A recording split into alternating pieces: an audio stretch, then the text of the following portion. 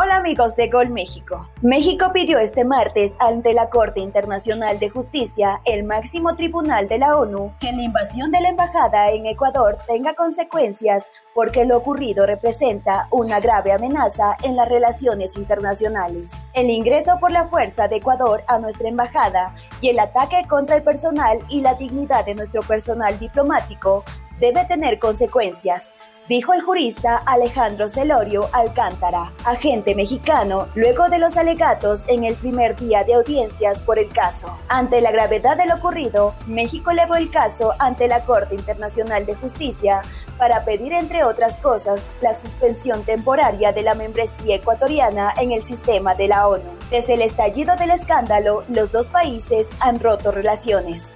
Sin embargo, el caso tuvo el lunes una inesperada vuelta cuando Ecuador formalizó ante la misma Corte de la ONU una demanda contra México por el asilo concedido a Glass.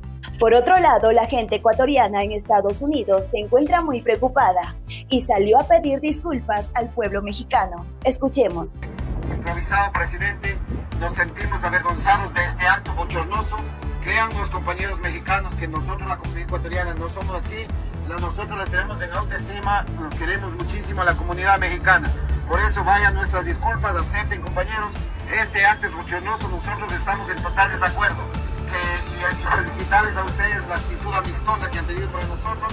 Así que compañeros, muchas gracias y acepten estas disculpas de este gobierno ignorante, estúpido. ¡Que viva Ecuador! ¡Que viva! ¡Que viva México! Pueblo mexicano. Es un ataque del gobierno. Así las cosas, la Corte Internacional de Justicia celebró este martes la primera audiencia pública sobre la irrupción en la embajada en Quito y fue el turno de México para presentar sus argumentos sobre las supuestas, violaciones, al derecho, internacional, cometidas, por Ecuador. El miércoles fue el turno de la delegación de Ecuador de presentar sus alegatos orales ante la Alta Corte de la Haya. A partir de allí, el tribunal deberá agendar una fecha para pronunciarse sobre las medidas cautelarias solicitadas por México contra Ecuador, a la espera del inicio del juicio y de la sentencia final del procedimiento que enfrenta a ambos países. Bueno amigos, hasta aquí este video. No te olvides de comentar y muchísimas gracias por vernos. Hasta la próxima.